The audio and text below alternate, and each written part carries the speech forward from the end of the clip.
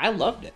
I what did you think? You did win. You did win. Congratulations. Um, you got the most bananas. I got the most bananas. Hey, welcome to Tablenauts. I'm Doolin. I'm Emily. And this is Naruto.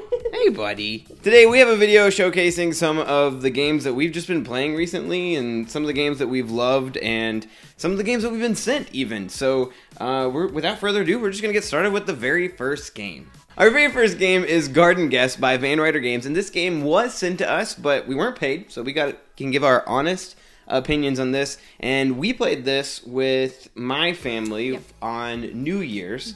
And uh, who won, Emily? If you mind, mind us. We did. We did, we did, we did. We played well. We played well, and my sister was not happy at all about upset. that. She was very upset, especially when we actually made the rules the correct way.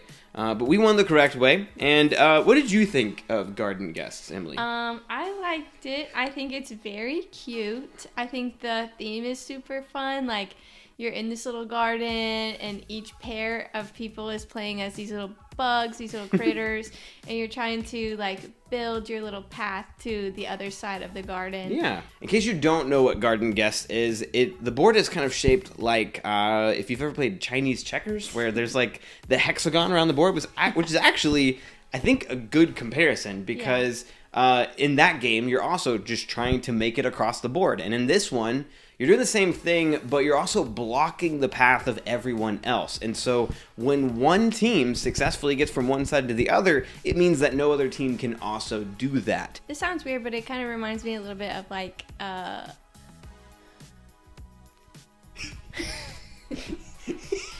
that space out moment was amazing. it kind of reminds me of uh, Ticket to Ride.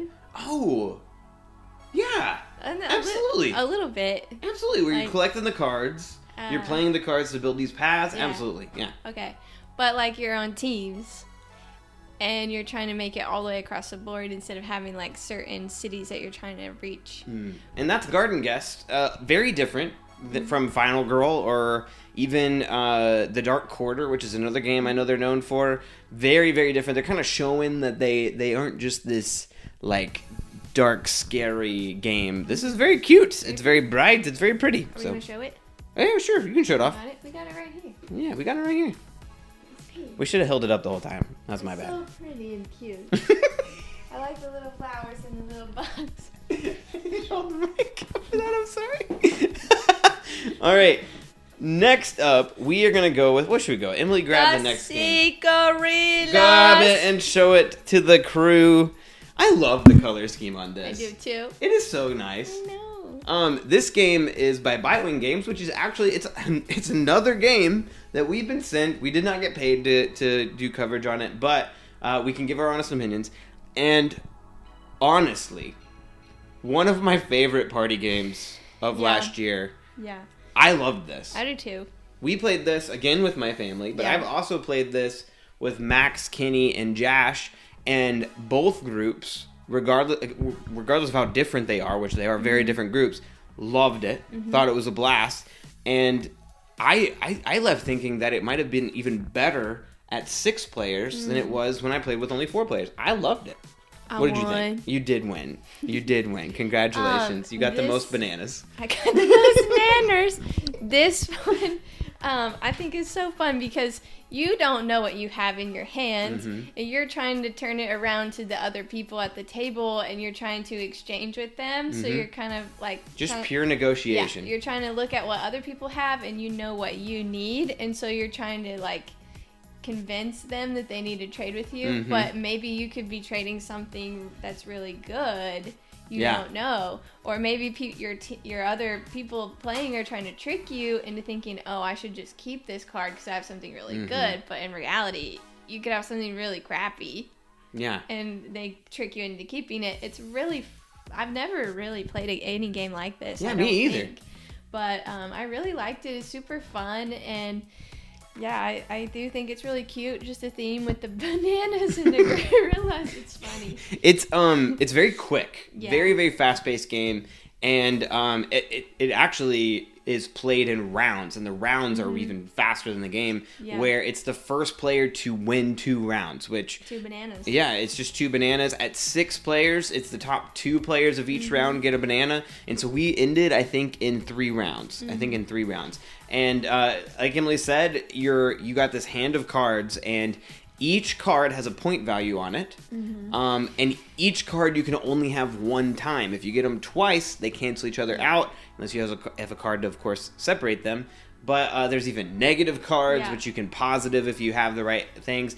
And I think what you're explaining is really really fun because you can trade with people or you can keep your card, which is an in, like probably my favorite part of it because I convinced my brother-in-law to to keep another like I think he had 3 negative 12s because every time he had one I was just like, "Oh, Tucker, I think you need that." And then by the third one he put it down and he, go, he looked at me and he goes, "I hate you."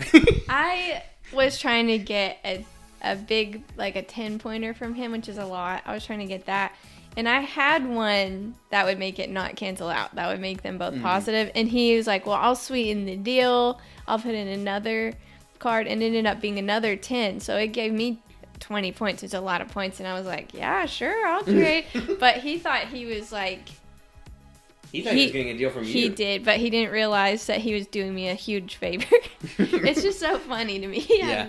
It's There's- a fun game. There's a game mode we haven't played that uh, my family agreed next time we are all together we will play it that way, which is the you have to play like apes mode, where everyone can only uh, grunt like gorillas the entire round. You're not allowed to actually say anything. You just like "Uh, uh, uh, uh, uh, uh," like type of thing, and I think that sounds amazing. Uh. I love it. Um, it is not too light. It's like still like competitive enough that like heavier gamers can get really into it. Yeah. But it's very easy to teach. Like within seconds, I think we were playing. I agree. And just a great game overall. Gussy Gorillas Gussy by Graves. Gorillas. and a very funny title. I think my family renamed it Gassy Gorillas, Yep. um, which I thought was really funny. It sounds better. Third game uh, we're gonna go with is actually another game we were sent, but not No. before Emily purchased Oh. it for me for Christmas. They were really nice enough to send it to us after, and even after we played it. Yep. So for the first time ever, Tablenauts was sent a game that they would like us to talk about. That we had already played. Yeah. and uh, what was really cool is that they actually sent us the upgraded components. We haven't played with those yet, so we. Nope. don't have we, ha- we can't comment on it. But Sail is a trick taking quiet. Cooperative game. Cooperative game. Yes, where we're not allowed to talk to each other in the rounds. We can plan out our turns kind Mm-hmm. of beforehand, but we can't tell each other what we have. And um, we are trying to play cards in order to win tricks to move a boat across a map and avoid a kraken Krakens. that is trying to destroy us before we get to our destination. Mm-hmm. Yes. Um, this is a very thematic game, very cute, Very cute. um, Um, and also very difficult, And very small. very small. What do you think of this game, Emily? I really liked it. I thought it was kind of crunchy. I thought it was kind of hard. Like we played it the first time out, we immediately wanted to play it again because we, I think we won, but I think we almost lost. Oh yeah, And it, and it was like the first scenario. Yep, and we were like, well, we got to practice this a little bit, Mm-hmm. get a little better. But yeah, the not being able to communicate during the round is tricky. But um, Mm-hmm. Trick I, takey. I see what you did. there. Sorry. but I, I thought it was fun though. I, I liked Sail. Uh, I like the art in it. It's very Mhm. pretty and cute, and yeah. I, I like. Oh man, I love that there are unique Mm-hmm. trick taking games coming out because there's this. Um, where you're like playing cards not ju- just to win tricks but to move a boat across a map. Uh, there's Cat in the Box, which is Mm-hmm. That's very unique. Um, and then there's also Inside Job, which we've Oh, yeah. played, That's which is like social deduction Yeah. trick taking. Um, and so like actually, I thought about that when we were about to talk about this. I thought yeah, about like that one. oh man, just so many good trick taking games that are coming out that aren't just normal trick taking games. Like they have a twist, right? Agree. Um, but still, great game. We highly recommend. Allplay Games made this. We played another one recently by them called Pollen that I liked. Yeah. Uh, has best soulball art on it. It Uh-huh. was really really cute. Um, but anyway, Sail, we recommend. Good game. Okay, next Another tiny one, another one that Josh got. I'm sorry, Doolin got for Christmas. Um, I From put it- who? From me. I'm sorry, from Santa Claus. it was in his stocking. This one is called Fika. Fika. And um when we got it, we looked up the theme. So the fika, the word fika, I'm gonna butcher this. The word fika, it um it's a it's from Sweden, right? I think Sweden, yeah. Okay. And apparently we looked it up. Fika is like a coffee break that people in Sweden take every day at work with their coworkers. In the afternoon, they take time, they have coffee, they chat with each other and they just hang out. And I think that's beautiful It's awesome. And would, I wish I wish that we, had did that. Fika. It's very pretty. It's called the Clever Coffee Break. And basically, what you're trying to do, you have cards. Mm. Um, we played against each other. hmm We're gonna over the course of five turns play out cards that um, aren't build they're building on each other but they all have unique ways of scoring. And so each will score in a different way and that's how you get your points at the end of the round. It's not like i'm trying to beat her at this location. It's i'm just trying to fulfill all of my things Yeah. and you can play things it's very mean because you can play things that move my cards around Yes. and i can play things that move your cards around Yeah. there's even cards that allow us to switch our cards and that's really mean and Yeah. I've, i haven't told you this but it's on bga and i've Is been it? playing it on bga Really? and people are real Really mean mean.